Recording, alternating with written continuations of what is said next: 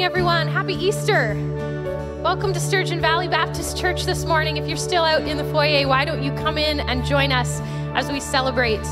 And I would love this morning if you would just turn to those around you, say good morning to the brothers and sisters that you're going to be celebrating with today.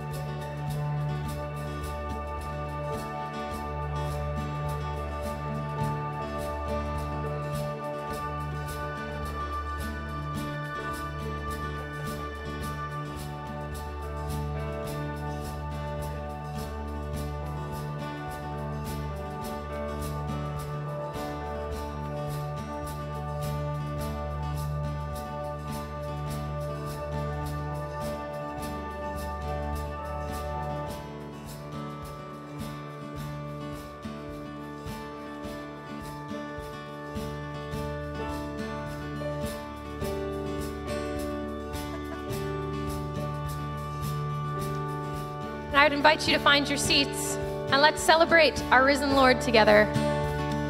Praises rising,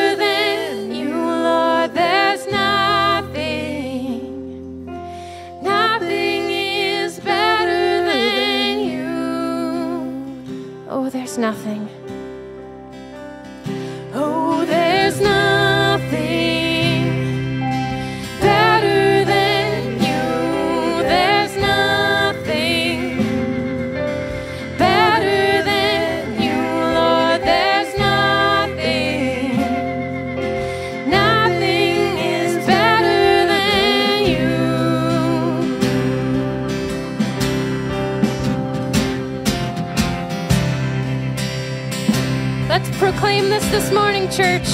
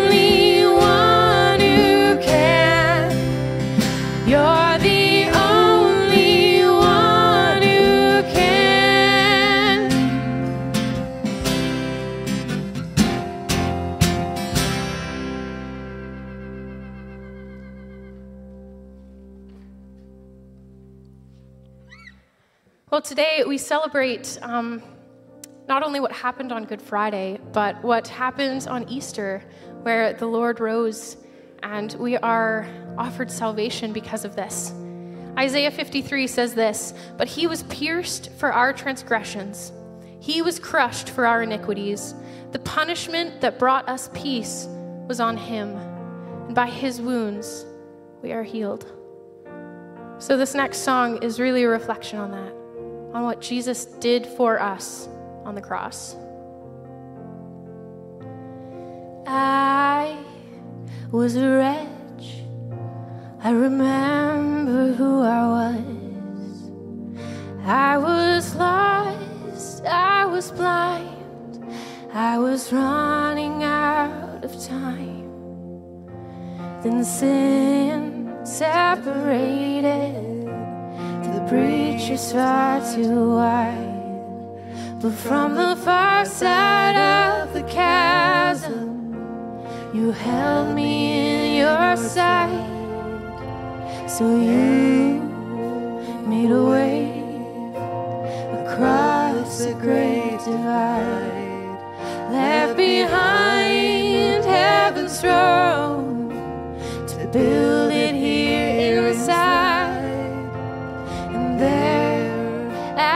cross. You paid the debt broke my chains, freed my soul. For the first time, I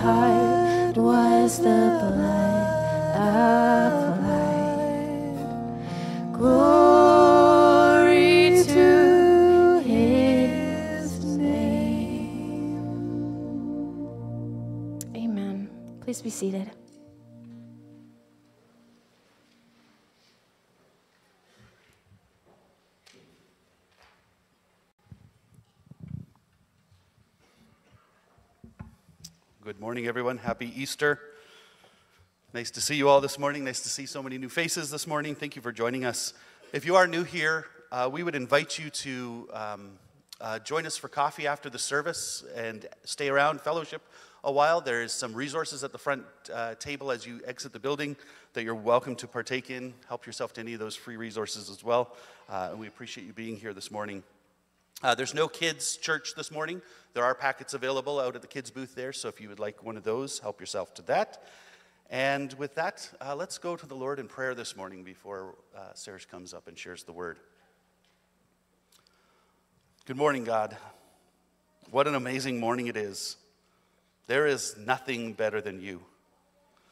We celebrate and rejoice because Jesus is alive. Death could not hold him, and the victory has been won. Thank you, Jesus, for taking our sin on yourself and taking it to the cross and to the grave, paying our debt and setting us free. And today, God, this Easter Sunday, we praise you because you are truly worthy of our worship. You are truly worthy of our praise. Lord, we repent of the times when we were arrogant and harsh with each other this week, when we failed to show love and grace and mercy to others. God, we are sorry for when we didn't extend forgiveness to others, but we sought our own justice. Father, forgive us our trespasses as we forgive those who trespass against us. And thank you for your forgiveness, your perfect, all encompassing forgiveness of all of our sins. Thank you, Holy Spirit, for helping us to then live out this forgiveness, to love others like you loved us. Help us, Lord. We praise you for the great work you've done in our heart, in our lives. Uh, we pray that you would stir in us to share that love with others so that the mission of, of loving you with all of our heart, mind, soul, and strength, and loving our neighbor as ourselves, that we could bring that to others who desperately need the love and care that you offer. Father, protect us from living as if we were still under the condemnation of sin, and grow in us our desire to love you more, to be more committed to justice, mercy, and love. God, help us to love our neighbor well, especially our brothers and sisters here in this building. Lord, help us to rejoice with others who rejoice and to help carry each other's burdens. Father, we pray right now for those who are grieving the loss of their loved ones this Easter weekend. Be their comfort. Surround them with your truth and with your love. And Father, thank you for this church family. Thank you, Jesus. Thank you for your, uh, for your spirit, Lord. May you speak to us through your word today. In the name of the risen Jesus, amen. As the uh, ushers take communion, uh, join with me as we read uh, Acts. If you want to flip to your Bibles to Acts chapter 2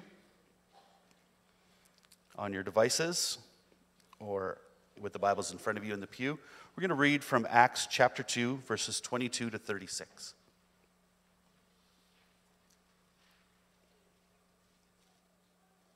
Give you a minute to get there.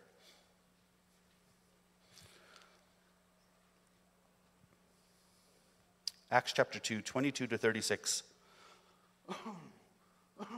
says, Fellow Israelites, listen to this.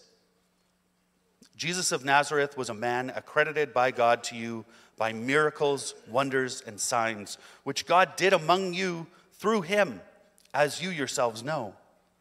This man was handed over to you by God's deliberate plan and foreknowledge, and you, with the help of wicked men, put him to death by nailing him to the cross. But God raised him from the dead, freeing him from the agony of death because it was impossible for death to keep its hold on him. David said about him, I saw the Lord always before me because he is at my right hand. I will not be shaken. Therefore, my heart is glad and my tongue rejoices. My body, will, my body also will rest in hope because you will not abandon me to the realm of the dead. You will not let your Holy One see decay. You have made me made known to me the paths of life. You will fill me with joy in your presence. Fellow Israelites, I can tell you confidently that the patriarch David died and was buried, and his tomb is here to this day. But he was a prophet and knew that God had promised him on oath he would place one of his descendants on his throne. Seeing what was to come, he spoke of the resurrection of the Messiah, that he was not abandoned to the realm of the dead, nor did his body see decay. God raised this Jesus to life, and we are all witnesses of it. Exalted to the right hand of God, he has received from the Father the promised Holy Spirit and has poured out what you now see and hear. For David did not ascend to heaven, and yet he said, Lord, uh, the Lord said to my Lord, Sit at my right hand until I make your enemies a footstool for your feet. Therefore, let all Israel be assured of this God has made this Jesus, whom you crucified, both Lord and Messiah.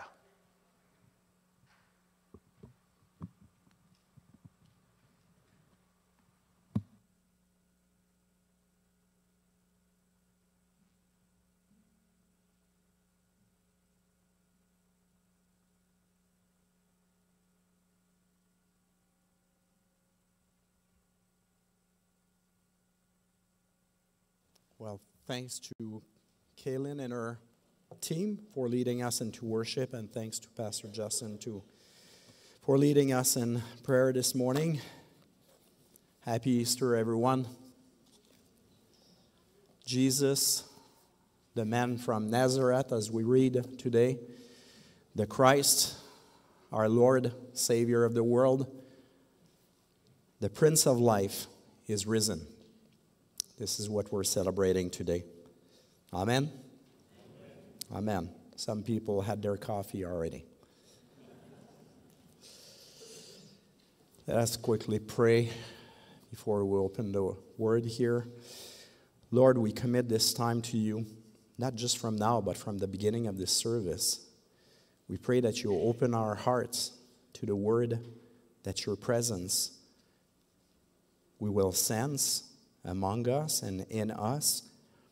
We pray for your spirit to instruct us this morning. In Jesus' name we pray. Amen.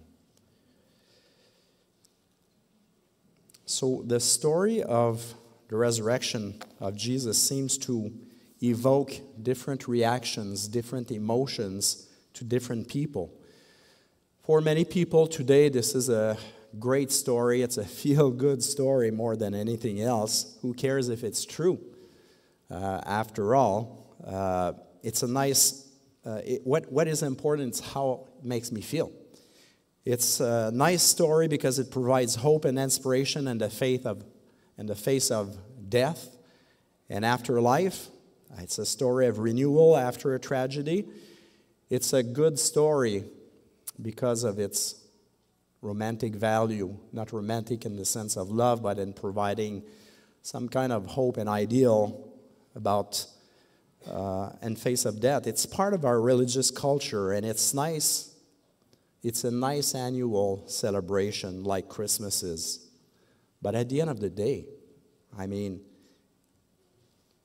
if the resurrection didn't really happen, if it's just a good story, what are we doing here today? Right? Well, for others, however, and starting with the Apostle Paul, the resurrection is foundational to our life, to our daily life, not just to our life and the future, but to our daily life and to our future as well. The resurrection for the Apostle Paul changed, and for us as well, changes everything. First, it's a historical event of the highest importance. It is the heart of the gospel. Paul says in 1 Corinthians chapter 15 there, no resurrection means no gospel means no forgiveness of sin. And we're still in our sins with no Savior. No resurrection also means we are the most miserable people of all the earth because we restrain ourselves against sin. And our hope is only in this life, not in the life to come. Well, for the Apostle Paul and the other apostles as well, resurrection was a historical event with physical, spiritual, and eternal implication. It was so for the early church, it is so also for us today. We don't see yet the full implication of the resurrection of Jesus because of the nature of the kingdom. The kingdom came with Jesus and it's already, but not yet. It's already established, but not fully fulfilled and established yet. Jesus is the first fruit of the harvest, so to speak. He has provided his followers spiritual regeneration and life. But the physical aspect of our regeneration still awaits the second coming of Jesus and the establishment of the kingdom of God on earth. So this morning we want to look at a text that Pastor Justin read for us and see what it tells us about Jesus and about the resurrection. And this text, Peter is speaking to the people of Israel that were gathered in Jerusalem for the occasion of the Pentecost. And this text is part of Peter's explanation for what happened in the upper room when the disciples experienced the coming of the Holy Spirit and its manifestation, enabling them to speak in different language. And the crowd outside of where they were heard them speaking of the marvelous deeds of God in their own language.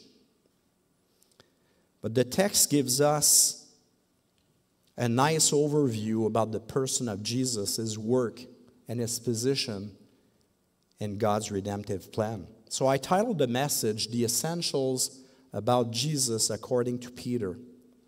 We won't cover the last part of the passage there, but we will cover four essentials there. In light of our culture, which prizes pluralism and relativism these days, I will say something now that will offend or may offend some of you. And my purpose is not to offend you, but to proclaim what the scriptures tells us. It will challenge the very foundation of our belief in relativism and pluralism, which tells us there are many truths out there and there are many paths to God as well. Well, based on this text and based on history, Jesus is not just one religious figure among many.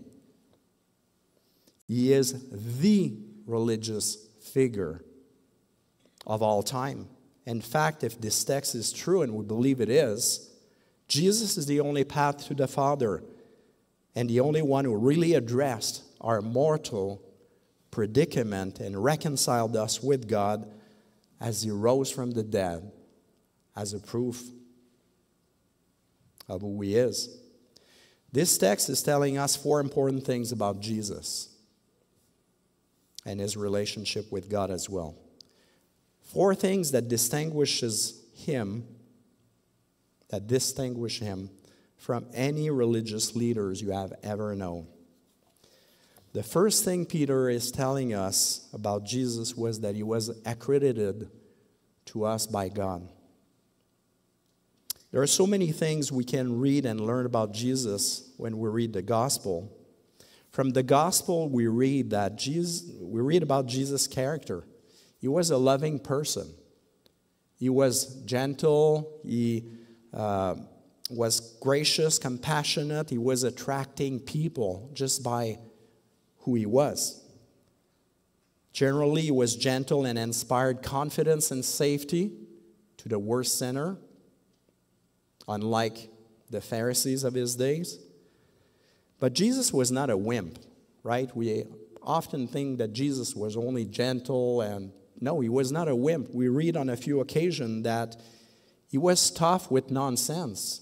When he was surrounded by nonsense, he was not afraid of exposing it and confronting it.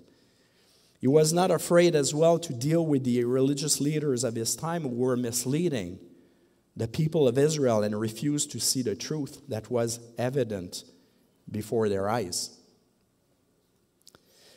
Jesus was also distinguished, as we read the Gospels, by his amazing teaching. The people of Israel were used to hear the teaching of the Pharisees and the teachers of the law, but when they heard Jesus, many times we read in the gospel that the people of Israel were amazed by his teaching. We read in Mark chapter 1, verse 22 the people were amazed at his, at his teaching because he taught them as one who had authority, not as the teachers of the law. Not only his teaching was amazing, but his answers to the Pharisees who tried to trap him and his understanding of the scriptures and in his theology, his answers were brilliant. They were not expecting such of a deep understanding of the scriptures from Jesus. But it's not just his teaching that was creating amazement in Israel. Peter tells us in verse 22 that Jesus was also accredited or attested by God to you, the people of Israel, through his miracles, his wonders, his signs that he was performing or that God was performing through him by the power of the Holy Spirit. On many occasions, we read in the Gospels that Jesus was able to perform healings, casting out demons who were keeping people enslaved, showing authority and power over the forces of nature. And on one occasion also, he was able to rise to bring to resurrection his friend Lazarus. After four days, he was in the tomb. Well, these miracles, these signs, these wonders were not done in private and then reported to the crowd after the fact. No, they were done in public. Peter is not ashamed of saying, These things were done before your eyes, they were done in public. Even his contemporary critiques admitted to his miraculous powers, but they couldn't fathom that Jesus was from God. They attributed his miracles and his signs and wonders to the power of the devils. Even some of these miracles are attested in literature outside of the Bible that was contemporary to the time of the apostles. Well, the purpose of these miracles was to draw attention and to point to something about Jesus. They were saying something out of the ordinary is taking place in this person. That indeed he was the Messiah, the Son of God, the one promised by God to save Israel from their sins and be the Savior of the world. These signs performed, these signs performed were supposed to accompany the person of the Messiah as predicted in one case at least by the prophet Isaiah. You can read that in chapter 29, chapter 35, chapter 66. And God used these miracles to show his compassion to those suffering by he providing healing. But God used these miracles to attest the person of Jesus as well, saying that he was indeed the Messiah. So, Jesus, the man of Nazareth, accredited by God to you through his power, through his signs and wonders and miracles. The second thing that Peter tells us about Jesus was that Jesus was delivered. He's telling us about his crucifixion, and he's talking about the causes behind what led Jesus to the cross. The people being part of the Pentecost crowd knew or quickly became aware of the fact of the death of Jesus by crucifixion at the hand of Pontius Pilate under the pretense that he was a criminal. There were certainly lots of discussion and opinion among the people there. There were two camps in general those who thought that Jesus was an innocent man that was condemned for nothing. and there was the other crowd saying that this man was a blasphemer, he was a troublemaker. That's a good thing that we got rid of him.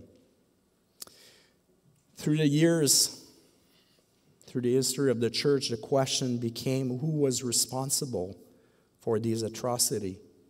Who was responsible for the death and crucifixion of Jesus? Even these days, every now and then we come across articles and documentary asking that question. Is it the Jews? Was it the Romans who were responsible, that were behind this thing? This question apparently hunted the Christian and Jewish relationship for nearly 2,000 years. This question has also been behind waves of anti Semitism throughout history. So serious of a question that Pope Benedict in 2011 felt the need to write a book saying who was truly responsible for the death of Jesus. And he needed to exonerate the Jewish nation as a whole, but pointed to the temple aristocracy, the Sadducees, the Pharisees, as the one responsibles because of the anti Semitism that was happening. But Peter explained the true reason behind Jesus' death.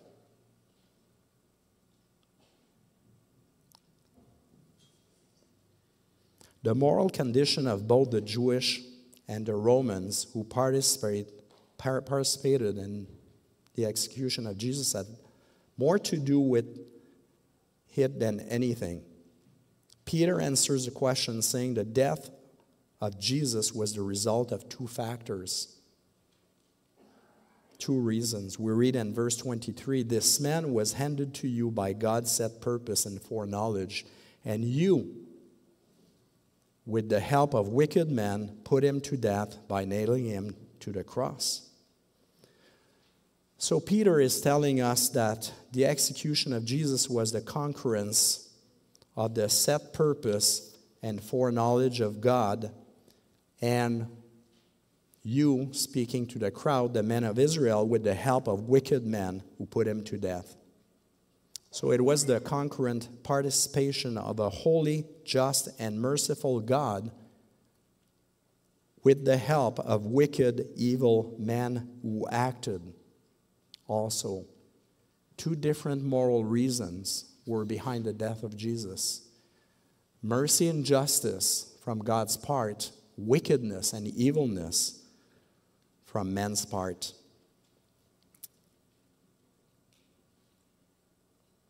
This is what we call the paradox.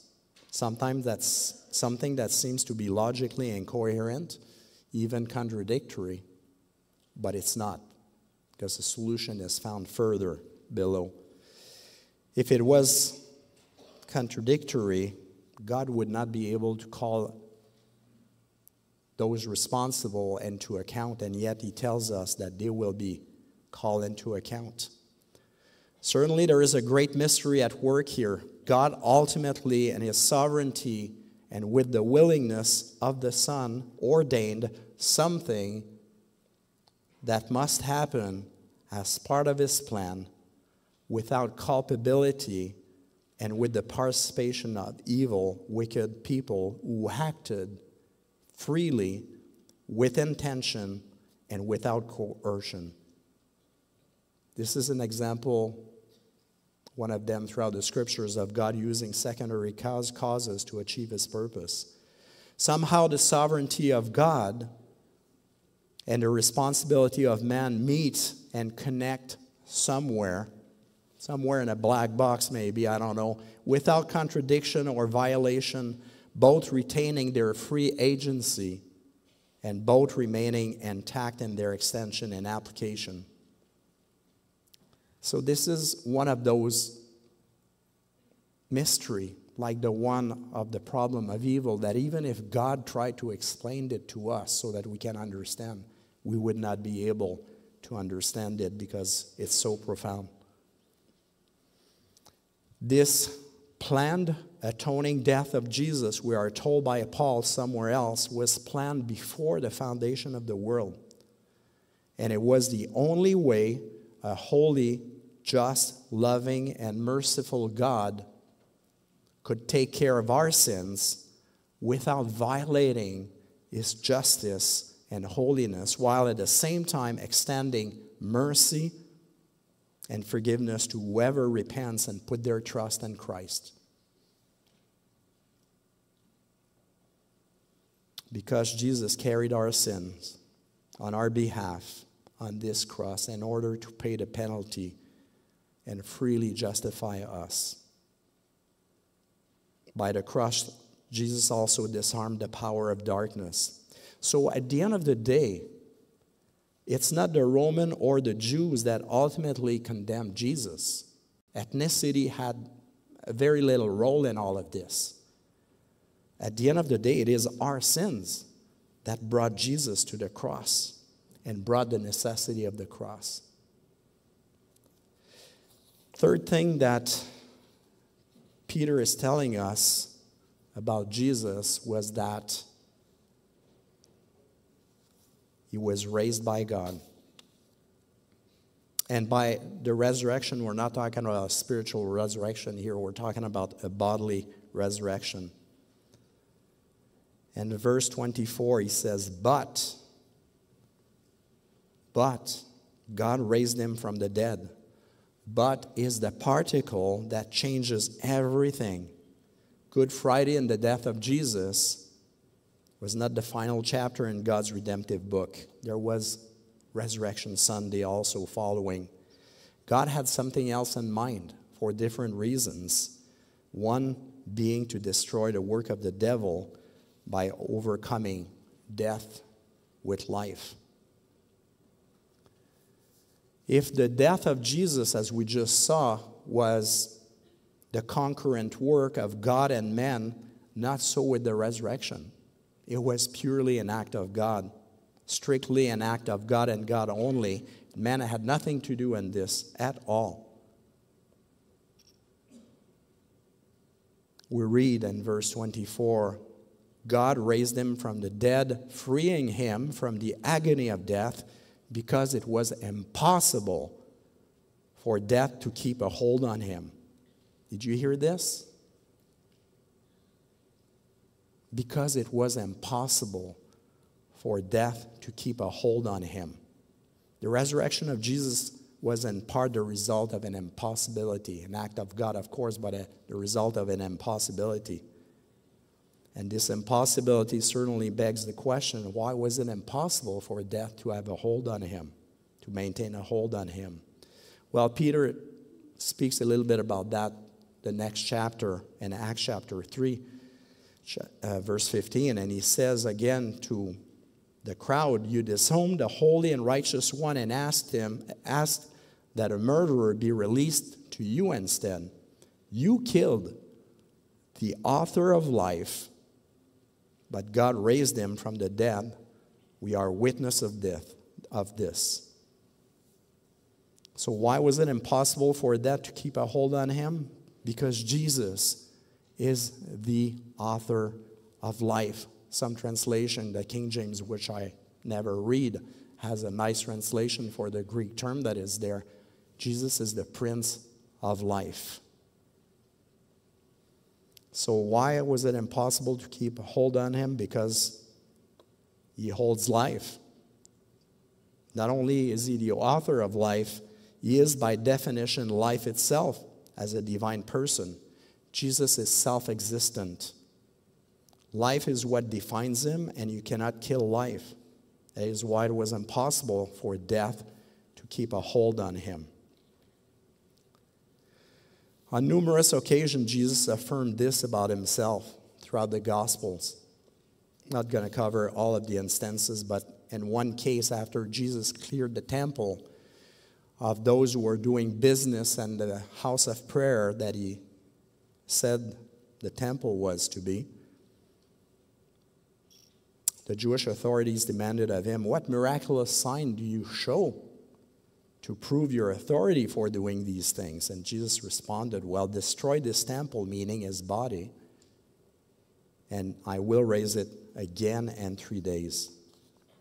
In John chapter 5, verse 26, on another occasion, when he was responding to the accusations of the Jews, he said, For as the Father has life in himself, so he has granted the Son to have life in him too.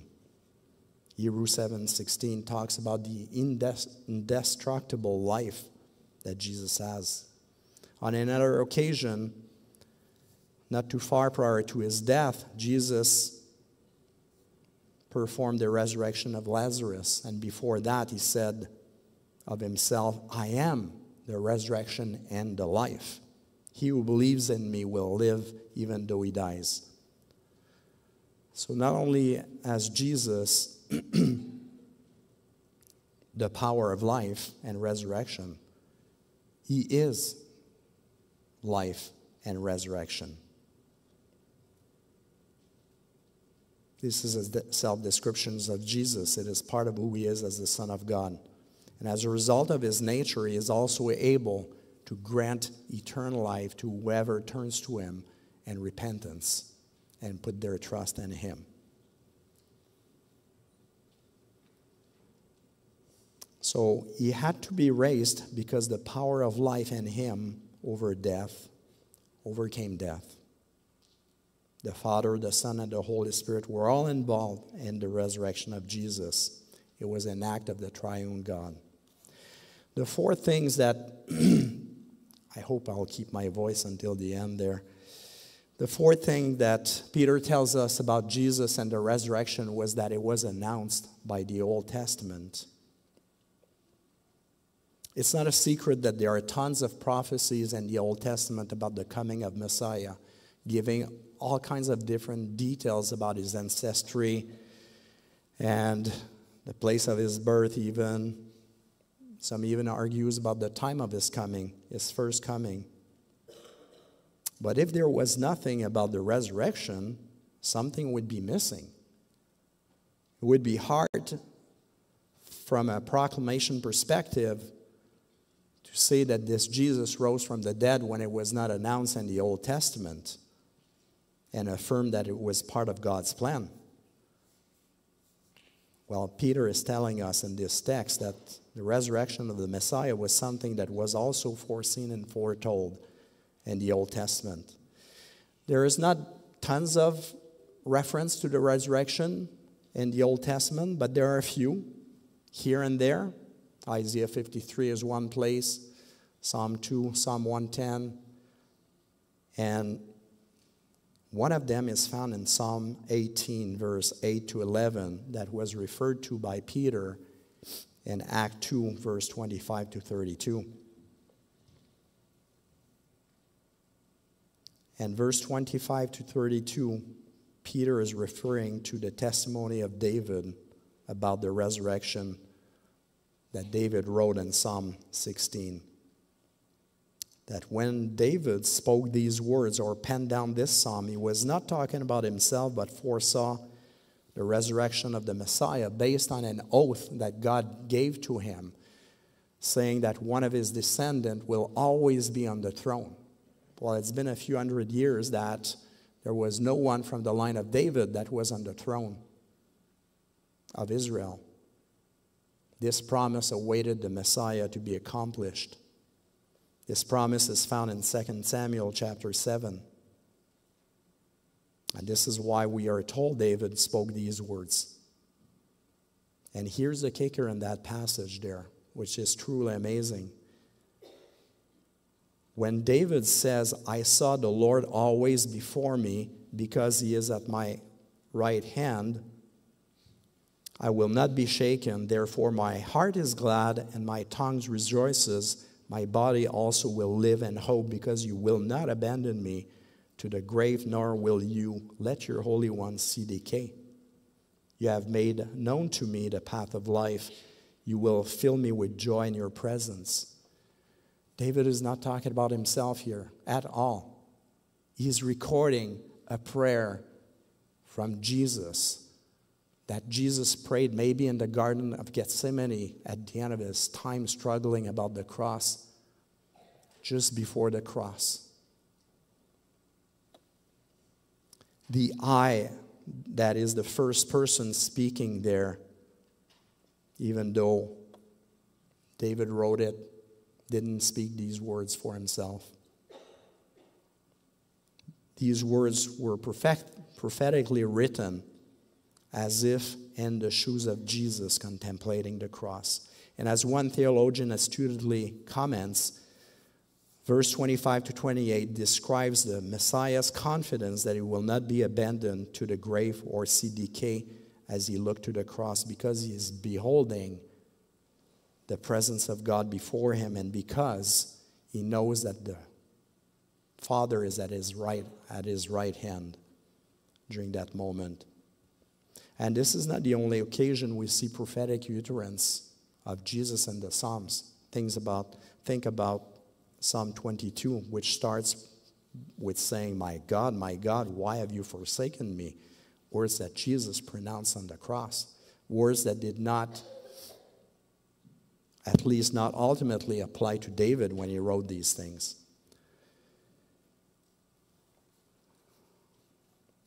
So, to summarize, Jesus, a man accredited by God through his sign, wonders, and miracle. Jesus, a man, a man delivered and crucified by God's set purpose and also at the hands of wicked men, crucified for our sins. A man raised by God and his resurrection announced by the Old Testament.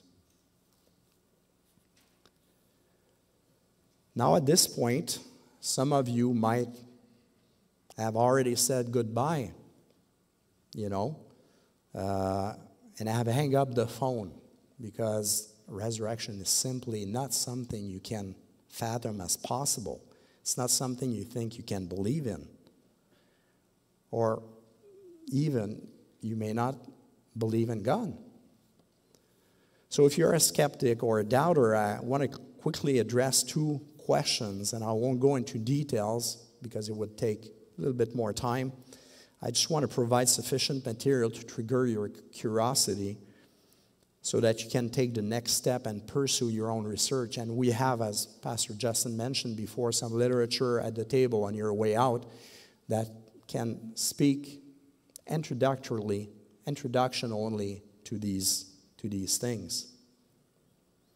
So, from a conceptual or scientific perspective, how can the resur- resurrection be possible?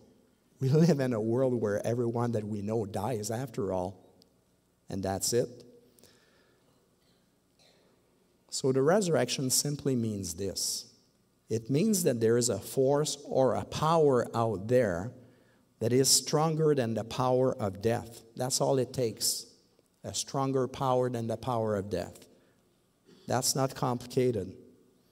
On the one hand, it's certainly surprising. As I mentioned, we don't see people rising up uh, these days.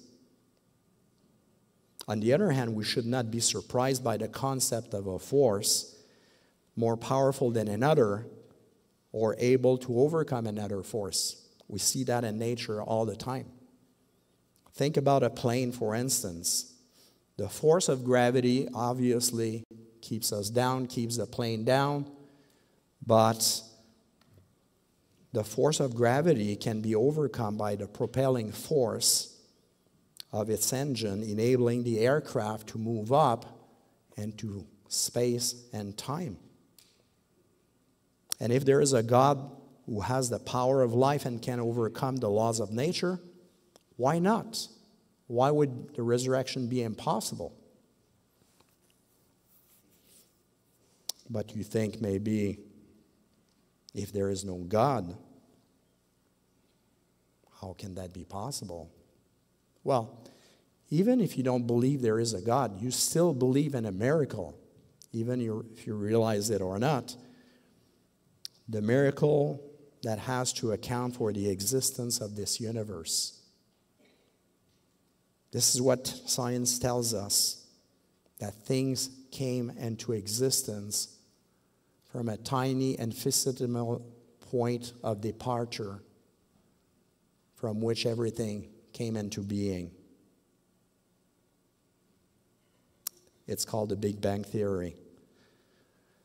Uh, science, science, science uh, physicists, science people cannot fathom that it started like this because it kind of requires something that existed before to bring this into being.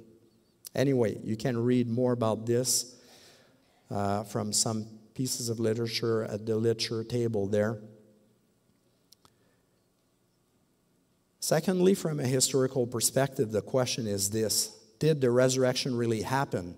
Can we trust what is recorded for us in the New Testament? Here are a few things to consider.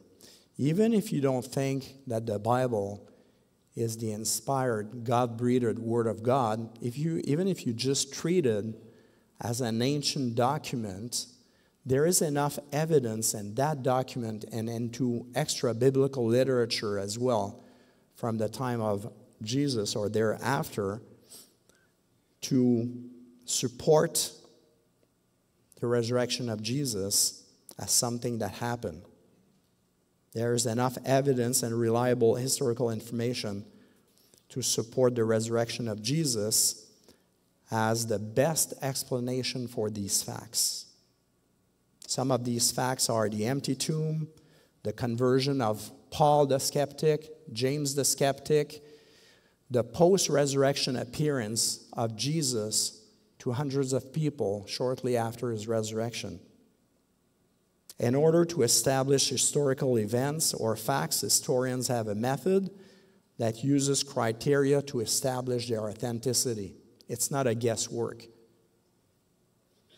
These criteria of authenticity would include eyewitness testimony, early dates of the material, so that it's not a, a legend that creeped in, in time afterwards, multiple independent reports of an event, even enemies' attestation that this took place. And there are five facts which we already gave you there that cannot be denied historically based on the historical method using these criteria. If you do deny these facts based on the historical method, you would have to deny hundreds of other historical events that are not as well attested, attested as the resurrection.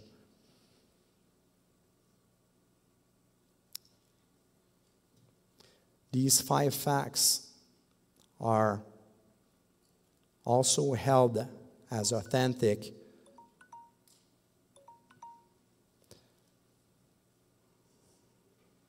by the majority of scholars that are studying in the field of New Testament studies, especially in the historical Jesus and the resurrection.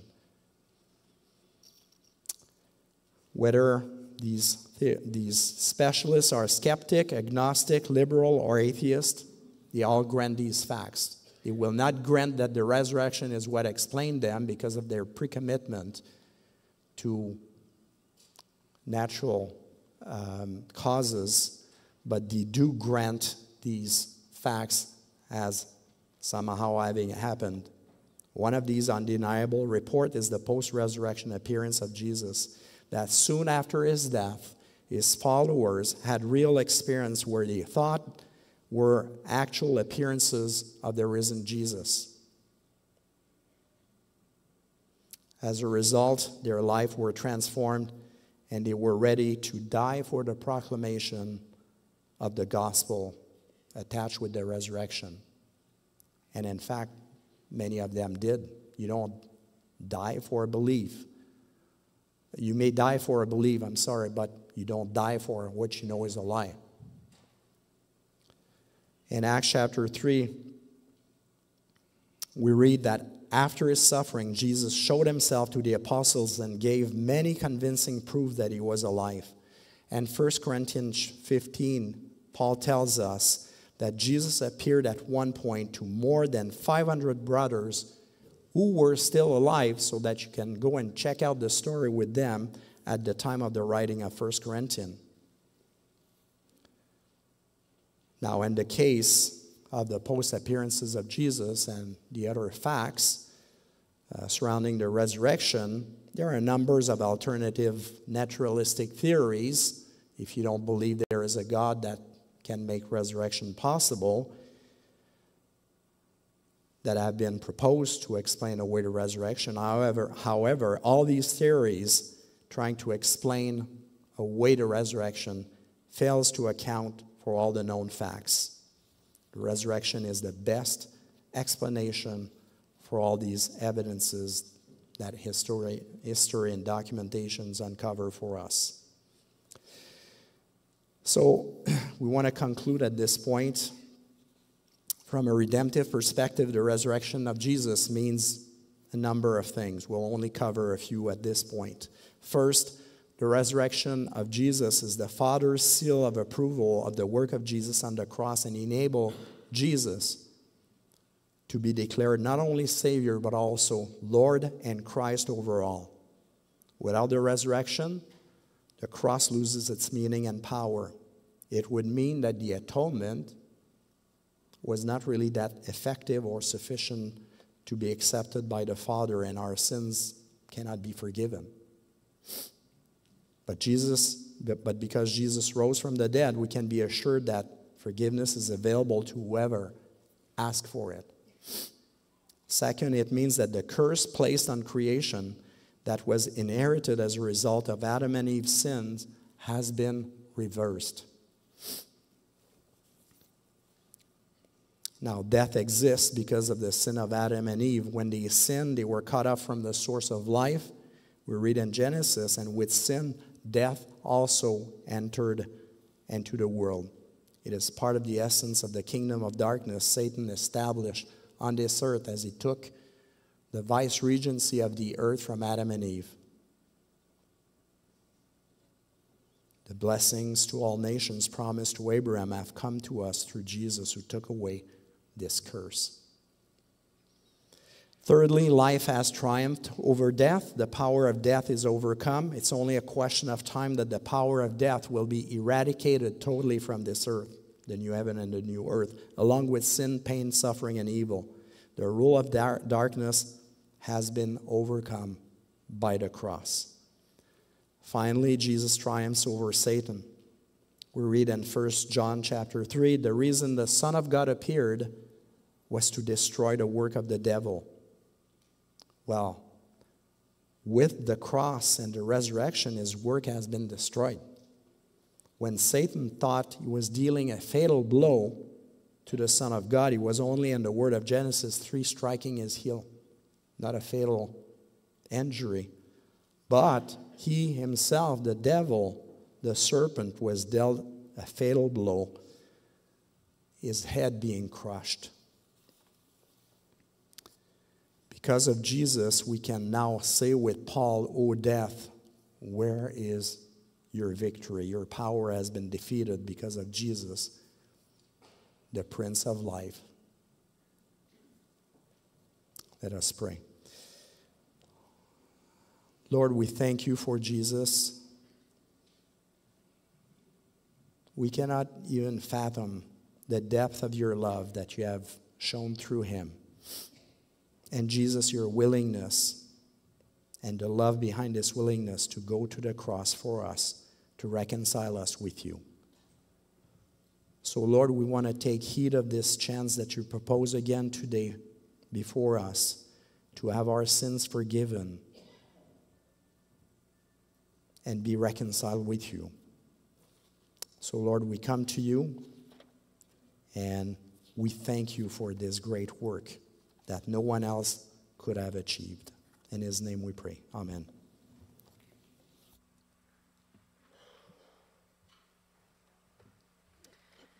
Would you, uh, would you please stand with us if you're able? And uh, let's just close with some celebration.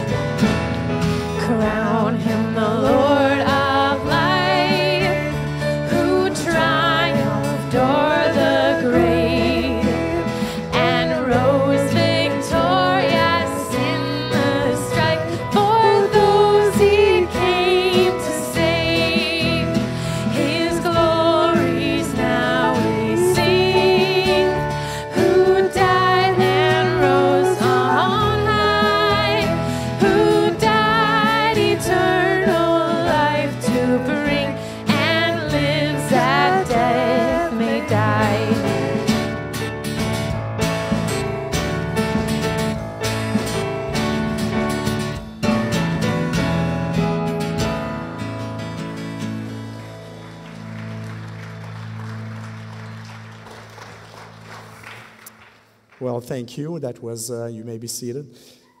I'm not going to come up with another message here, don't worry. so that was a joyful note to end our service this morning. And uh, at the end of the passage that uh, we read this morning, Peter says uh, something great about Jesus. We may not see the extent of it right now, but it is a fact, and we will see the full extent of Jesus' lordship at the end of time. And this is calling for a note to be prepared, um, whether we realize this or not. Jesus is alive. At the end of our passage, the Apostle Peter ends with the words of the patriarch David saying, For David did not ascend to heaven, and yet he said, The Lord said to my Lord, Sit at my right hand until I make your enemies a footstool for your feet. Therefore, let all Israel be assured of this God made this Jesus, whom you crucified, both Lord and Christ. Amen. To Jesus be glory and honor, and to him only. Have a great rest of uh, Sunday.